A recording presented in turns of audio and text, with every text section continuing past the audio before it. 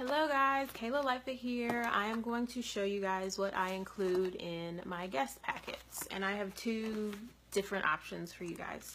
So these are what I used to use. I ordered these um, black fo folders off of Amazon. I think I got like 25 for seven or eight dollars. It wasn't expensive at all.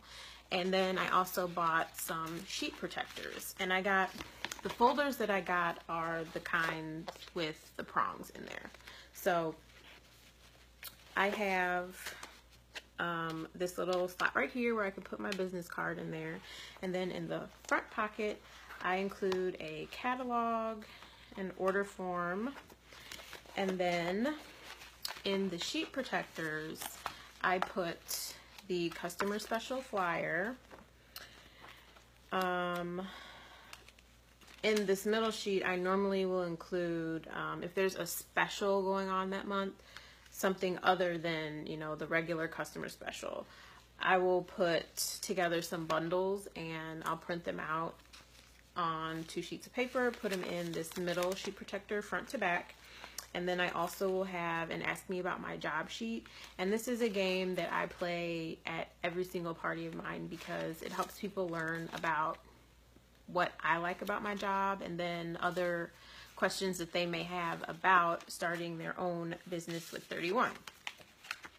So, and in the back, I have a sheet that is for booking parties. So if they decide that they want to book with me, they will have that ready and they can fill that out. So what I will be using now is I got these um, binders from Dollar Tree, literally, they're a dollar and I'm basically going to do the same thing that I did in my other one, only now I will have these front and back pockets where I can put additional information.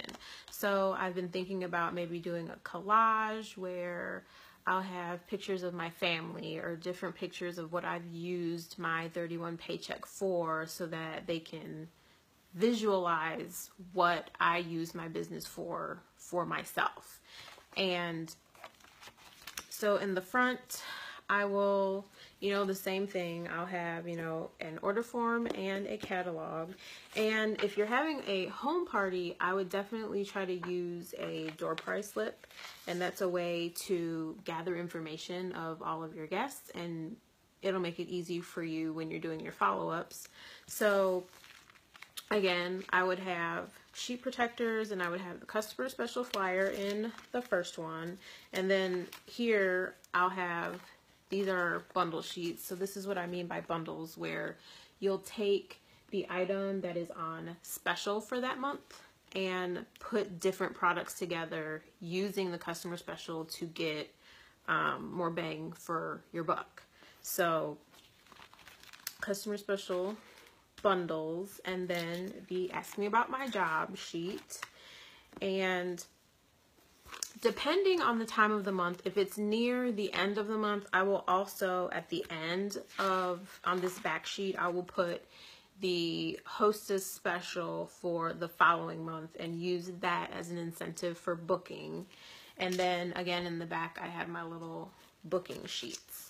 So I like the binders a little bit better than the folders because I think to me it just looks a little bit more professional. But either way is fine. And if you don't like these ways, you can also do whatever you like. But this is what I do for my home parties. So hopefully this helps you guys. Thanks.